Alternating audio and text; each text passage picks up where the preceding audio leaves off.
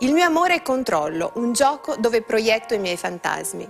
Il mio amore è l'alternarsi di storie, funzionale desiderio di non restare sola. Il mio amore non ha identità, ciò che conta è la sua presenza. Il mio amore è l'antidoto per la mia solitudine.